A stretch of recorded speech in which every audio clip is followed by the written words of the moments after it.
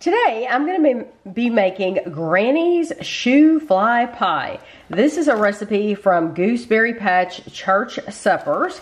Um, we're going to go over all the ingredients first. You need one teaspoon of baking soda, one cup of hot water, half a cup brown sugar packed, three eggs beaten, one cup of molasses, and I left these out. These are just the Grandma's Molasses Original.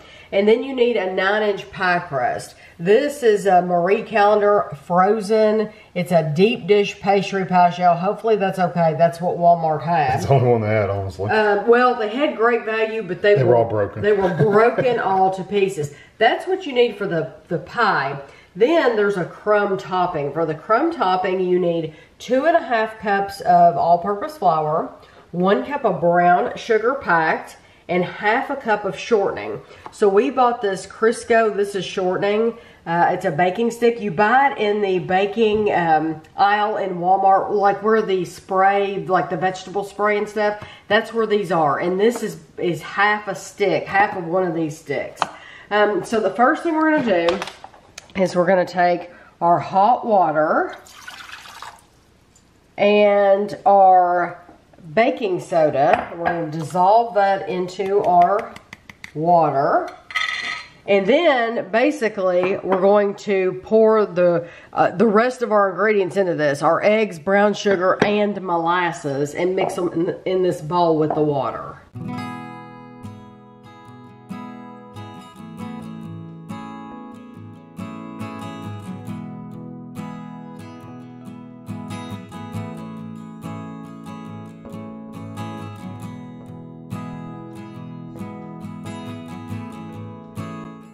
Gonna take this bowl and I'm gonna set it to the side. Now I'm gonna go ahead and we're gonna make our crumb topping. We have our flour and our brown sugar and get ready to use your hands and just mix this using your fingers. And then we're gonna take our shortening and mix this in with your flour and brown sugar.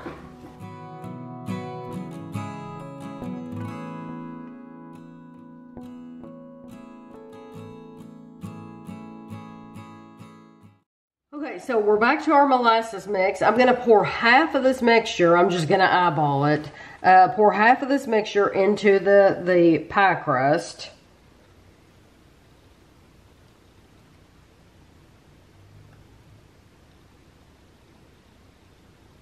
Kind of hard to tell. So I'm sure it won't uh, ruin anything.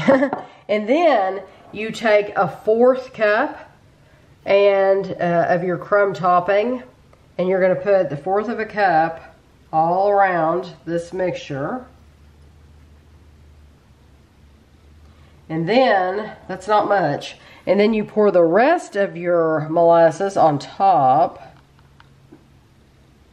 And I don't know what good. I don't know what that did for it. I don't know what they did for it at all. And that goes, I, Kevin was wondering, when we bought the deep dish pastry, Kevin thought, he, he's like, I don't know if this is going to work or not. Uh, I'm saying now, you need to buy the deep dish pastry. Yeah, for real. Uh, and I don't even know how all this is going to go on top. You're supposed to use, I mean, this is quite a bit of crumb topping. I have no idea, without it running everywhere, how you're supposed to put this on top. I'm trying to get it to the edges to where I can kind of like keep the liquid in. Like I'm going to put my hand up here. Like I'm forming a seal around the edges. That's how I'm going to do it. And that way it won't, uh, hopefully it'll keep that liquid in. I'm going to do that all the way around the edge. And then when I bake this, I'm definitely going to be getting a cookie sheet out.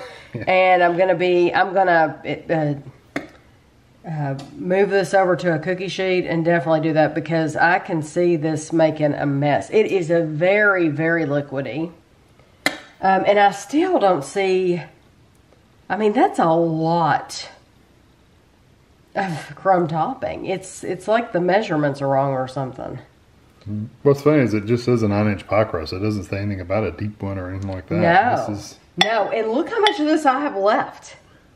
And I mean, I have like, I'm afraid it won't bake if I put all that on there. What do you think, Kevin?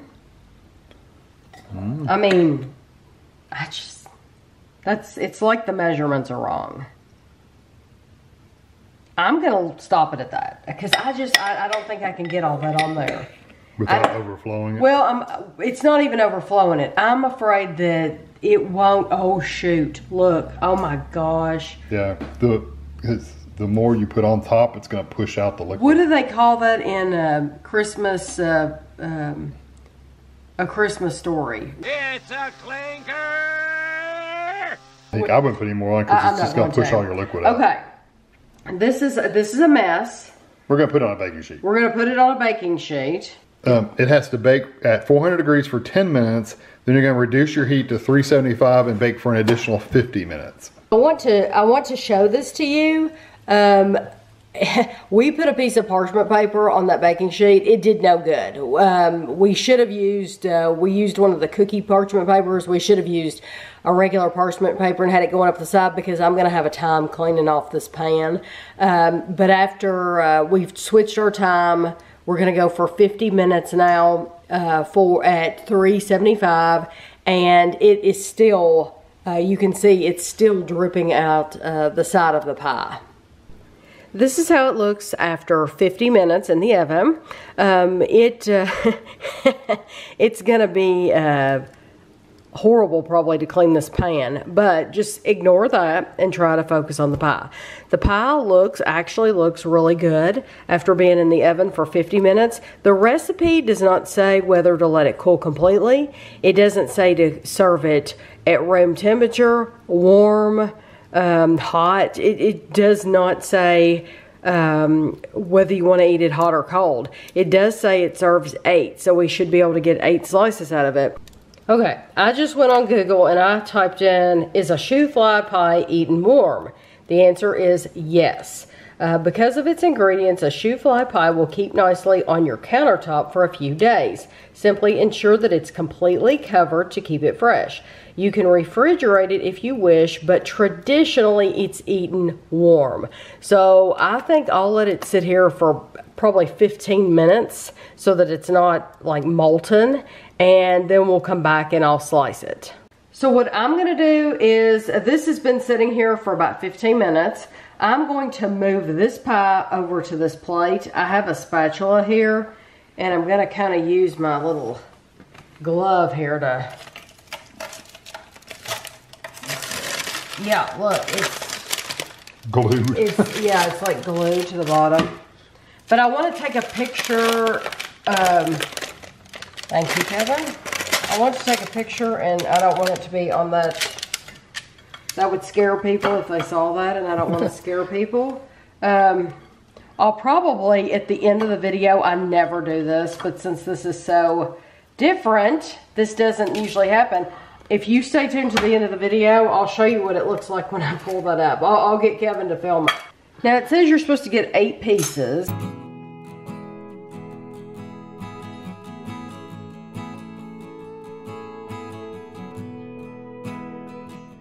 Actually looks pretty good. And look at the color on the next one. So now we'll take it over to the table and give it a try. So this recipe was submitted by Christy Boyle in Easton, Maryland. Uh, she said, my children love it when we go to Granny's house and she has just pulled a shoo fly pie out of the oven. So, um, like I said, it really, it, it didn't tell you whether you were supposed to wait or not. That's the only thing um, about some of these recipes because they are submitted. Some people go into more detail and you would just, some people would just assume that you would know that. If you've never had a shoo fly pie in your life, I, I don't know how to, Honestly. no. Um, so here we go.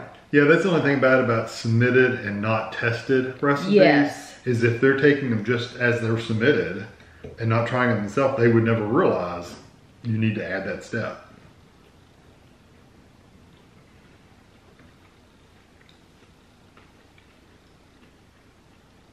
I do think though that as far as the crumb topping, I think that um, it it had way too much.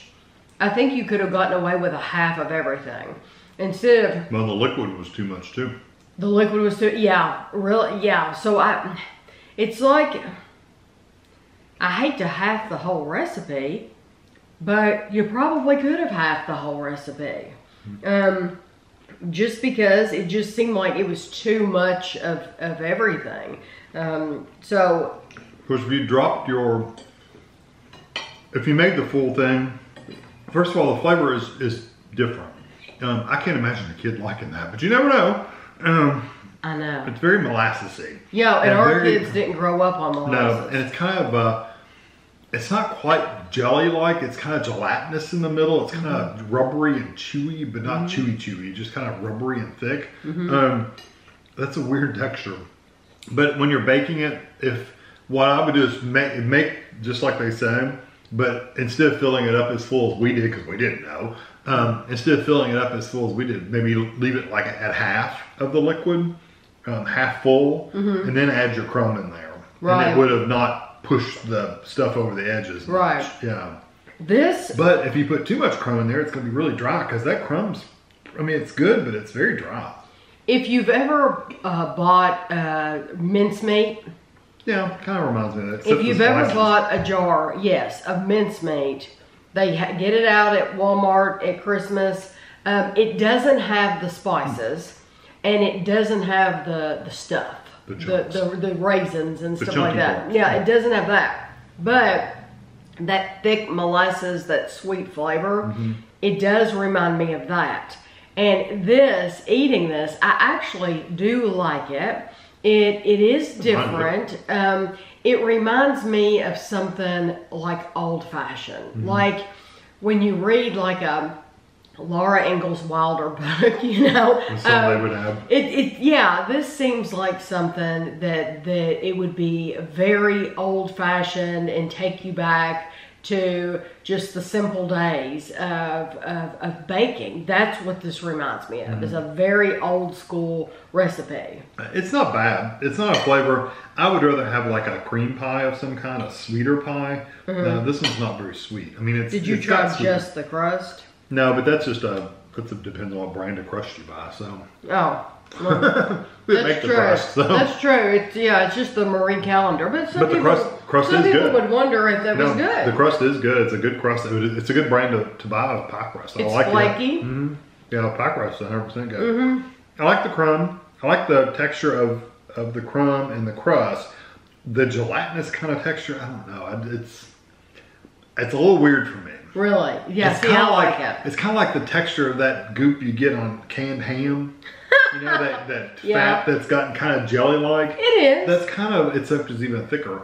Um, Yeah. It's kind of that texture. It doesn't taste like that, of course, but it's But it's the texture. yeah, if you know like that that texture. kind of gelatinous kind of. but it did texture. it did cook really well. I was worried that because I put that crumb topping on so thick that it wasn't gonna to bake well. I then I worried when I when it said 50 minutes, it didn't give you any range. I thought it's gonna burn for sure. Yeah, she said that's gonna come out black. I, I said it'll come out black. You know, it's going to be horrible. It didn't. Mm-hmm. It, it actually, you know, for for the mess that's going on with the pan, it's actually really good. Mm-hmm. Just don't expect a traditional sugary sweet. Even though it, it does have all those molasses, it's just not. It's a different kind of sweet than what we are accustomed mm-hmm. to. But I still like it. and you can really see on your piece, you can really see where the liquid soaked into the crumb. Yes. On the top, it's got like a layer of a lighter layer. it's a thicker- lighter layer. Yes. I wonder if you told it maybe to, like I said, it wasn't in the directions, but I wonder if it, when you put that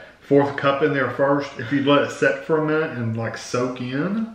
I don't know. It didn't really say. All I can do is what they say. Yeah. and- the only way you would know for sure is if you looked at another recipe and see what they said, see if they had said Exactly, anything and, different. and But- compare them. So uh, yeah, shoo fly pie. The only reason I even uh, know it is because there was a song, Mm-hmm. and and I and I learned the song when I was a little kid at summer camp one year about shoo fly pie, and uh, so that's that's why it's like I saw it and I, I had to make it. But I'm glad we made it because I it is this It's is different. It's rustic it's very rustic, very different. it honestly it brings to mind like old school like thanksgiving that time uh, with just a simpler time. Uh, so if you've ever made one, you can absolutely uh, let us know uh, the differences in the recipes because we did, Kevin and I both read it. So you know it was right if Kevin read it at least. Um, but if you want to see the saga with the pan, stay tuned. Normally I don't put this in the video, but I'm sure you're curious to see what that's How's going to look up? like. Yeah, we'll see what happens when I when I take the parchment paper out of the pan. So I hope you enjoyed the video and thanks for watching. So if you had used a piece of a regular piece of parchment paper, then you could have made it big enough to go over the pan. Yeah, I didn't think about it. That was so my fault. this is just one of those Reynolds baking sheets. Yep. I never thought it would run that much, or Wow. I would have. Uh, I would have used a bigger piece.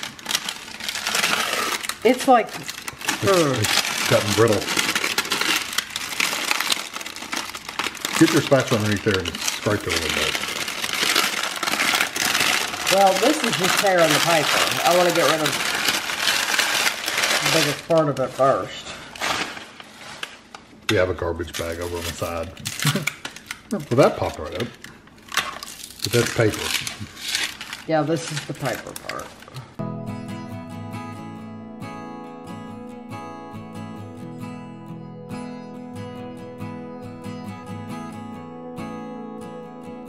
It's actually not that bad, as you can see. So I'm gonna, I'll run very, very hot water uh, to loosen this up. And it's not near as bad as I thought it would be. So don't be afraid to make it if you're interested in it because it, it wasn't as bad as I thought.